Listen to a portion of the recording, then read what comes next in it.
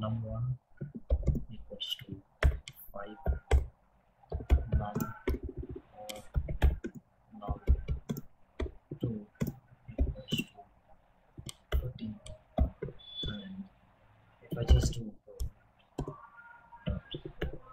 right num plus num2 we just run it.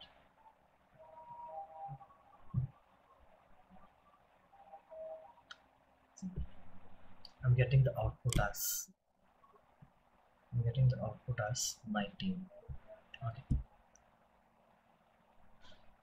So uh, similarly we we can do like how I did here minus you can do I can uh, how I did here plus you can do minus you can do uh, you can do multiplication or you can do division. How you, however you wish to do you can see the output I'm getting here continuously.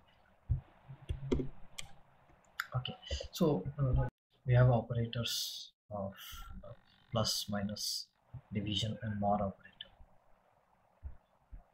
Yes, sir. so we have something called as mod operator I will teach you a mod operator let's say this is 2 5 divided by 2 what do you think how much it is?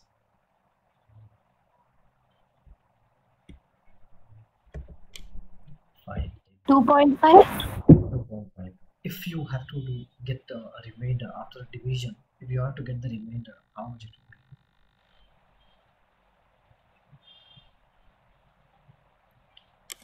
be? Like number one if I do the division. Your answer is correct you get uh, see 2.5 similarly we have something called as mod operator which will give you the remainder of something. Okay. If 5 is divided by 2 equally if it is not getting divided then the remainder will be 1 okay. Similarly if I divide 4 by 2 then the remainder will be 0 did you understand why the mod operator is used now Yes, sir. Sir, that uh, symbol is not visible clearly. okay symbol is not visible S- s-. Just-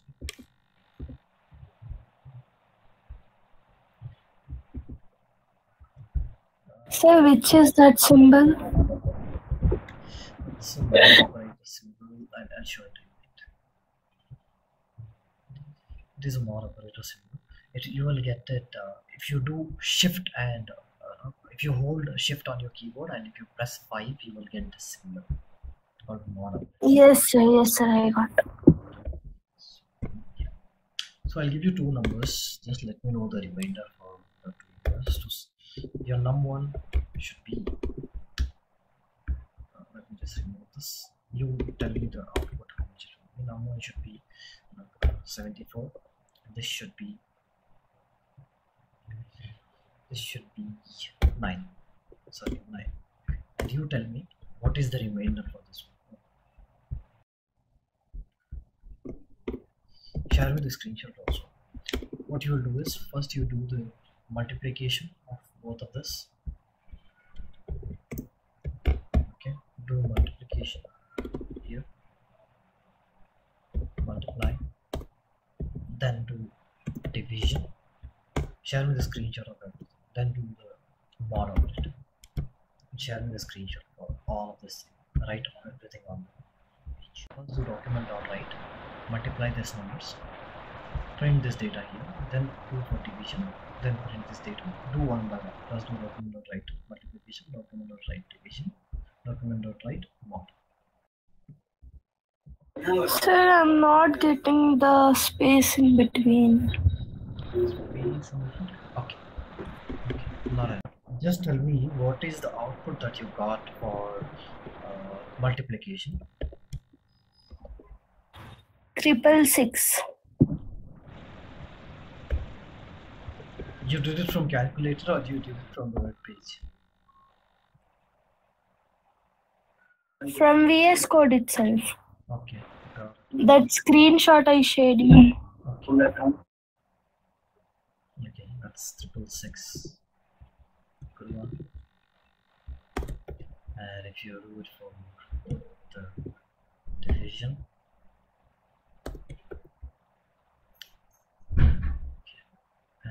So like this itself I'm getting no space in between. correct. Got. Let me let us make the changes for that also. See, let's say if if there is something in the variable, I can write it down here. If there is something here, I can calculate here. there is in HTML, you know, we have something called as break tag. Let's say there is a paragraph. Inside that, if I want something to come in the next line, I can use a break tag.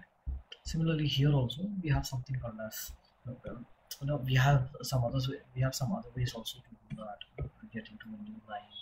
This and all we can do, but uh, this, this that's a different thing. Here, what you can do is you can add a break tag here in like this plus and break tag.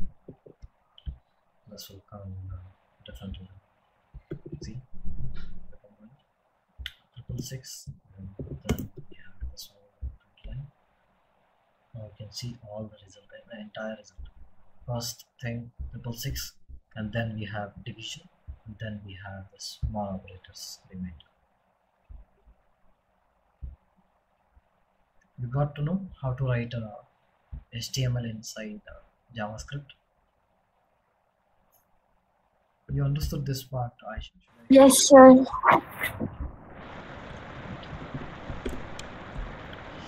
Okay, so let's move forward to the. You remember yesterday we collected the data data of users' data. Do you know how to? Yes, sir.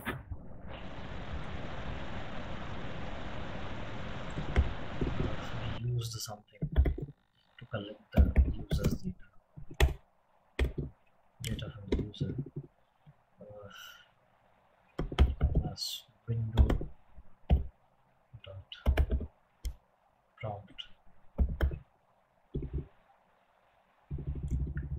So let me just store this to store this into a variable. What we will do is we will build a calculator. Yeah a small calculator. So this was an inspiration from one of the, one of the trainer back then. So let me just see this. Let num let use dot equals to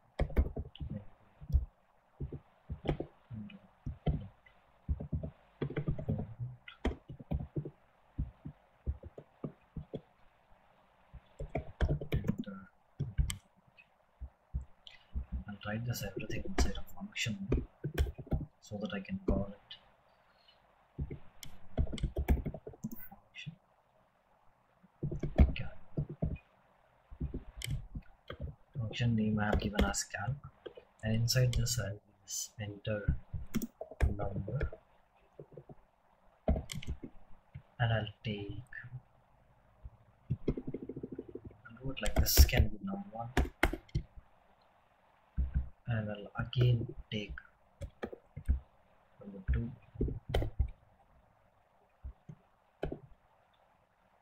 and I shall calculate this document dot write num1 was not okay I just collect. Can you do this? You just have to collect. Uh, first number from the uh, just collect two numbers from the user. First number you will store it in num1 second number you will store it in num2 and you will do the addition of those two numbers. Can you do this?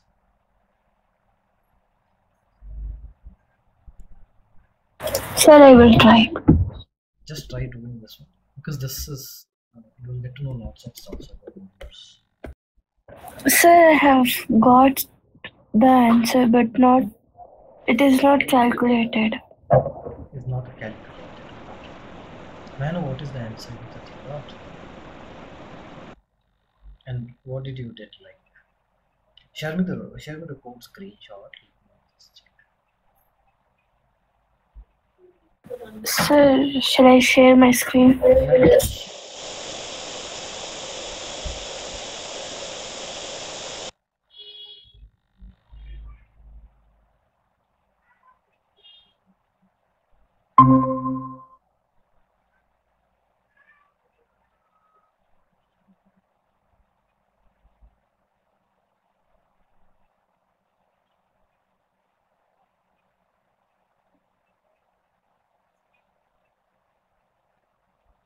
Okay. Enter number one. Okay. Okay. Okay. Okay. Perfect. Perfect, Aisha. Great job.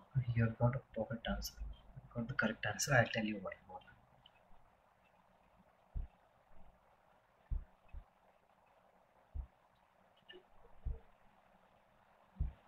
You can see my screen, right? Yes, sir. Now, one, you know the data types, right? Types of data. Okay. We have numbers, we have boolean values, we have strings. What kind of data is this? You can recognize. It's okay if it's a wrong answer. Okay. What kind of data is this? string Yes, this is string. So since this is a string, if you are combining two strings, you will get the string itself. Since this is not a number, as this is not a number, you are not getting a calculation out of it. So what you need to do is, first thing you need to do is, you need to convert this string to the number. Okay, we have something called, let's say, we have something called as num1 equals to was end inside this and from this number I just put this number. And same thing I can do for num2 also. What I'm what I'm doing here is I'm just converting this num1 num1 whatever the input I'm getting here from num1, I'm just converting it to a, uh, an integer. You need to con because that's a string you need to convert that into only then I can open the documentation now if I do document dot write.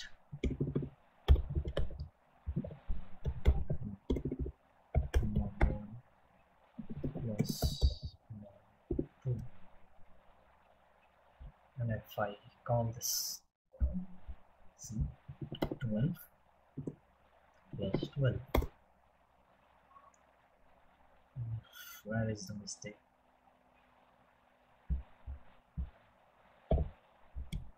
Why it has not contained data So that num you should write. You have wrote name. okay sorry. Let's try once again. Yeah see i've got the data.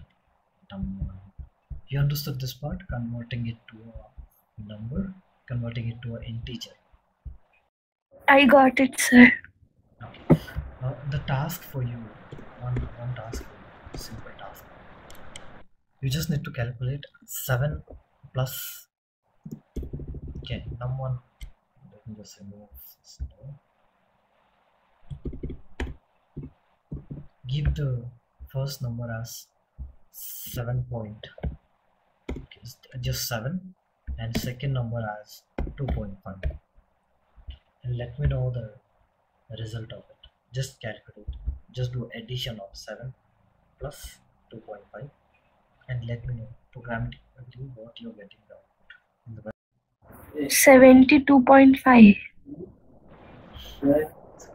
no no did you convert it into a parseInt did you convert it into a integer Yes, sir. Converted. Okay show me the show me this show me the result or share your screen. Okay so no i told you javascript goes line by line right? So you have wrote document dot write. Before converting itself you have wrote document dot write. So document dot write should be last. After converting you should give the result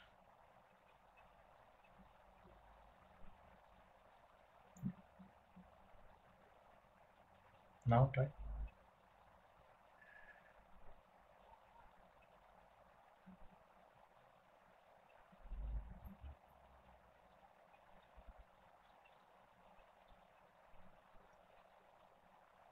okay got the answer as 9 what do you think Point five. how much Nine point five. Okay.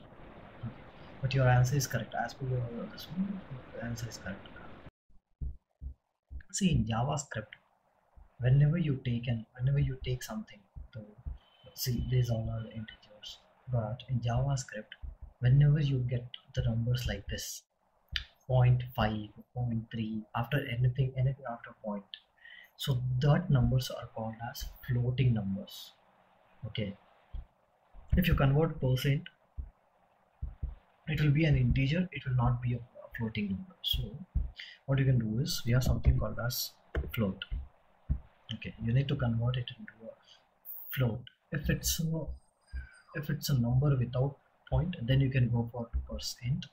If it's a number with floating or point then you i suggest always go for floating number. That is you need to convert it into floating numbers then you can do document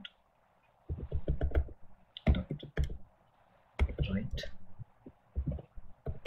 one plus not. let's try this. Sir, if we write uh, like integer in floating numbers, then? Then also it will work. So what i suggest what i always suggest is uh, better than parseInt go for this floating number because let it be integer it takes. Let it be uh, a pointer. Like floating numbers both it takes. So better go for floating numbers. Let's say 7 say 2.5 Uh, did, did i miss something again? Okay i i think this one is wrong let me just check result of it i always refer this. Chat so. I always suggest.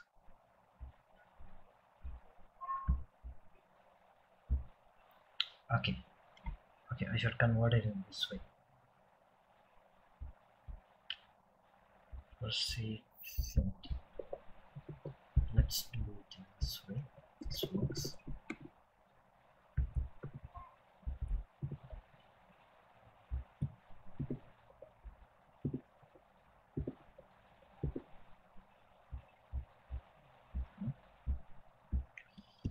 Seven point five. See, got the output. So this is the for converting it to integer. You can do it in this way. Or say int yeah. If you're converting it to a floating number you can go for this percent float. Floating number. Actually did you understood this part? Yes, sir. Now just do the calculation of this one.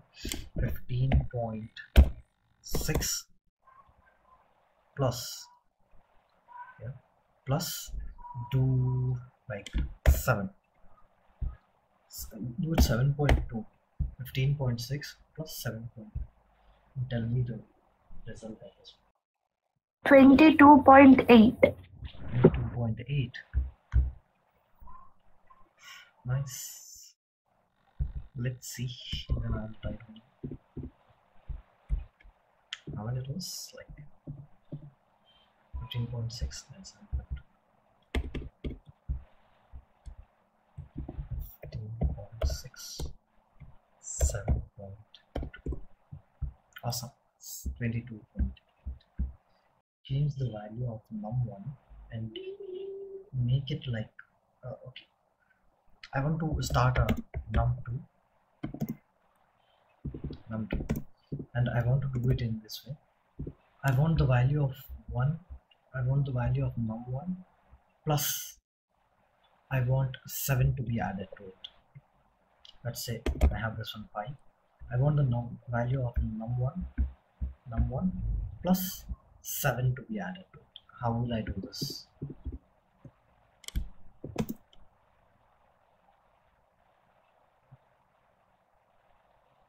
let me explain to you.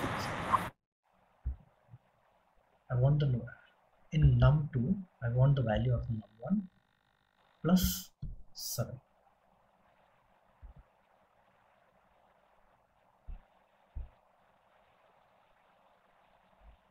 any idea No, sir. okay I'll, I'll tell you see here one thing we can do is let num2 plus num num1 num2 equals to num1 because I want the value of num right? Num1 plus 7 if I now if I just do document dot write num2 you can see the value. I have the I've got the value of num1 and I have added 7 also. Okay. Now what you will do is you take the value of num2 create num3 now.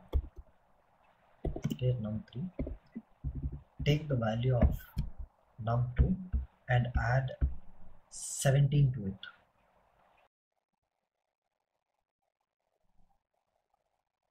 So when I print this num3 it should be the addition of num2 plus 17 Sir, 34. I have added number 1, number 2, plus 17. uh, you don't have to do that because you know, uh, num1 you don't have to add uh, this one num1 num2 and num3 because num2 is already I, I just wanted like num2's whatever the num2's present value that plus add 17 and assign it to this one you don't have to separately add number just take the present value of num2 and Sir, 29. Okay, let's see. Plus 17. I just do 3. Yes. Great job, Aisha. There is one more option. Let's say uh, I have this another type of calculation. Okay so this would be the last calculation that i'll be teaching you today. Here like it would be like let's say let i just want the value of num2 to be updated. Whatever the present value of num2 whatever the present value of num2 plus. Plus uh, let's say 10 whatever the present value of num2 plus 10 okay what I can do is num2 equals to num2 plus 10 okay now if I just print num2 you can see the value now if I just print num2 you are getting the output as updated. You got this one? Yes, sir. so this can also be written in this way like this. Num2 plus equals to 10 here also i'm telling like here also i'm telling the program same thing like whatever the present value of num plus that one and add uh, another 10 also to it. You understood this part? If you write it Yes, sir. yeah if you write it in this way also it is same. If you write it in this way also it is same. Okay let me give you one more example. Let's say let let num3 equals to 238 okay 490 do it in this way i want the present value present value of num3 plus 492 let me know the updated value of num3 730. 730 how did you do? You just added here the this one or? No, sir, done in VS Code. yes okay. Okay. Let me just let me just see Let's see. Plus equals how much it was plus equals 492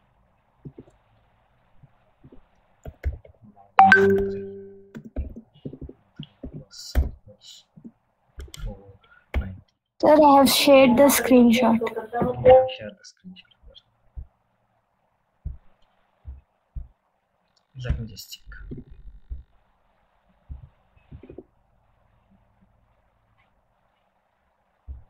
Okay. Great job. Great job, Isa. But uh, you know, uh, make a habit of this one. Instead of doing that, you know, num3 plus 493, you can do it in this way. Plus equals 492 and you will get this option. Yes, that's it for the day. Any doubts, any questions? If you have, you can ask me.